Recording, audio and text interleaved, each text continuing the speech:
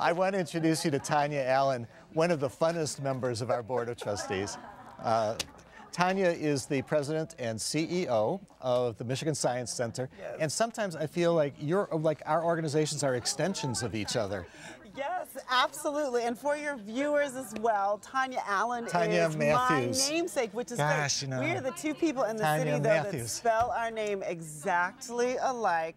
So it works very, very much so. I'm sorry. And we are extensions of each other, particularly around the all ages kinds of programming. So, of course, I'm completely in love with the new 24 7 children's channel Yes. that Detroit Public Television has recently launched, and it matches the things we do at the Science Center. For example, right now we are doing M Step Prep.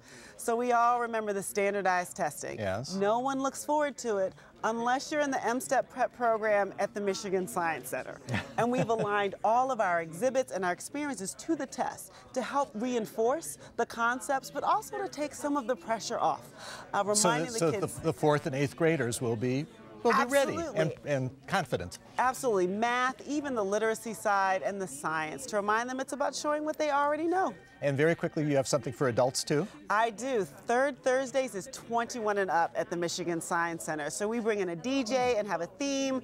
This month we're actually doing blacklight dodgeball. I cannot wait to see how we pull that off. Wow. So uh, perhaps for your viewers that are hanging around for Pink Floyd tonight, they might want to Ah. check out the Science Center. Uh, it is a fun place. And Tonya Matthews, it is great having you on our board. It is so great to be here again. Okay.